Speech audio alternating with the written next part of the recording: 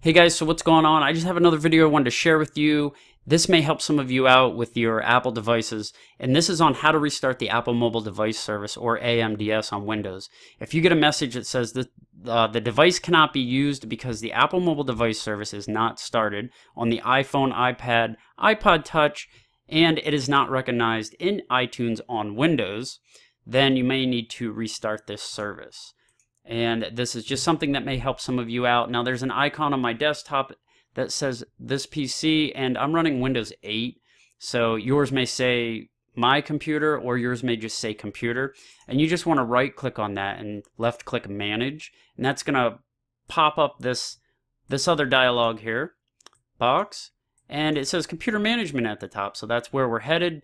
And then over here on the left you want to come down to where it says services and applications and select that and that's going to open this up here and you want to highlight this one that says services and then double click it. And then if you come over along this line right here you'll see a, like a little arrow pop up. As soon as you see that little arrow a left and right arrow hold down the left click of the mouse and you can drag your mouse over and that'll kind of open that up.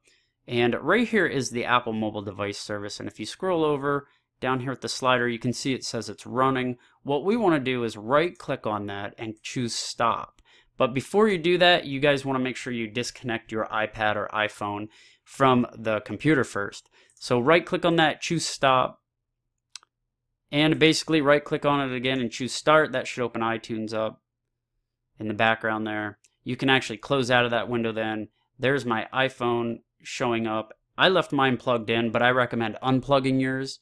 And then once you restart that, go ahead and plug your device back in.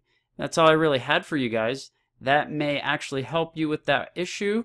So if you guys like this video, please give it a thumbs up and share it. Thanks a lot guys for watching. See ya.